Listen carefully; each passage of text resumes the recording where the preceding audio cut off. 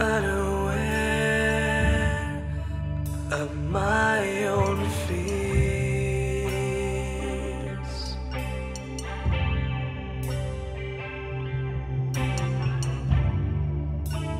Living in